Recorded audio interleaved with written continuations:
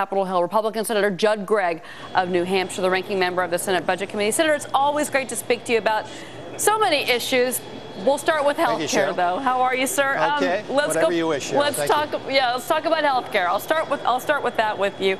So now the Senate has sent it back to the House. Just from your experience, what kind of time frame are you seeing here? Are we going to get something done by Easter break at least?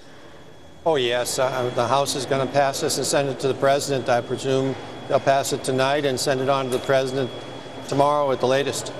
Okay, so we're on track for that. So, you know, a lot of big companies, Caterpillar, Deere, have been yeah. bringing up the cost issue again, what it's going to cost them. Uh, well, just... that's one. That's the recurring theme we're hearing on the business side. What are you hearing from your constituents about the future costs of the bill, of the law? Well, this co- this bill is going to cost a staggering amount. It's a 2.6 trillion dollar expansion of the federal government. Uh, somebody's got to pay for that.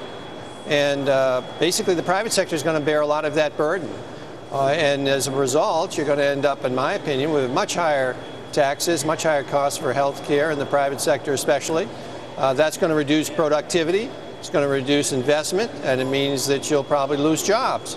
Uh, that's just logical. I mean, you can't grow the government by $2.6 trillion, not have a, a fairly significant debilitating effect on the private sector because obviously the government, whatever the government spends, it has to take out of the private sector one way or the other. It either borrows it out or it taxes it out, and that means that dollars that should be used more efficiently in private capital activity are being used to create bureaucracy, for lack of a better word.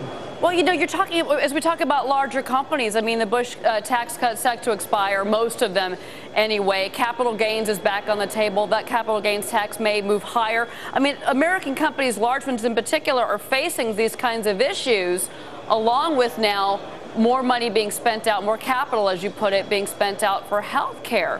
Uh, is there anything that on the Republican side that you can do right now, uh, considering that basically health care reform went through with really without any Republican support. Where are we? Well, where we are is we're confronting a government that has an inherently antagonistic view of markets, of capitalism, and especially dislikes profit. I mean, that's been made very clear by this administration and by this Congress. And so institutions uh, such as the student loan program, which was also nationalized in this bill, uh, take the entire private sector was wiped out. That's 31,000 jobs. It'll cost us an extra half a trillion dollars in borrowing at the federal level. Uh, that all of that activity was moved from the private sector into the public sector.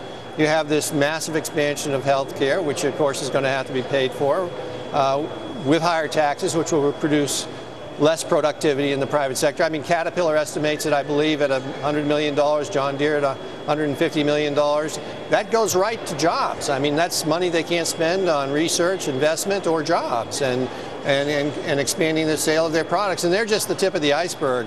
Uh, when you look at this, it's really the small businesses of America that are going to be most fundamentally hit under this, in my opinion, because of the really significant costs that are going to be put onto them in order to maintain insurance for their employees. Okay, another, uh, as promised, another issue I want to bring up with you, financial regulatory reform. I kind of find out where, from you where we're at at this moment, kind of what the state of play is. Are we going to get some type of compromise bill Will it include the Volcker rule or maybe some elements of the Volcker rule?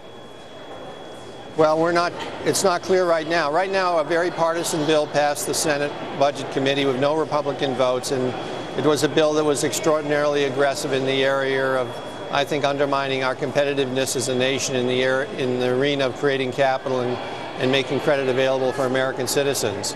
Uh, we hope we can improve it. Uh, Many of us are willing to work across the aisle on this. I've been trying to, for example, to negotiate the derivatives issue for a long time here.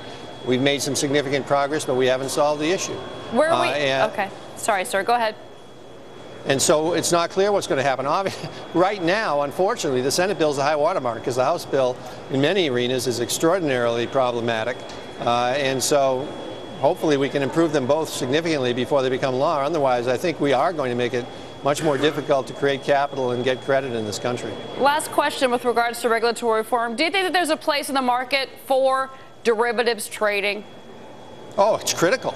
Oh, it's okay. just hugely critical. What did it, you know, I mean, our goal, my goal personally, is not to eliminate derivatives trading, it's just the opposite, is to make, first to make it sound, reduce the systemic risks by creating more transparency, making sure you have adequate liquidity in the derivatives market, But my second goal is to actually make the United States the best place in the world to use these types of instruments because they are a tremendous boon to a lot of different um, companies that create jobs in our country, uh, and we should have a very vibrant derivatives market or we'll be in serious trouble.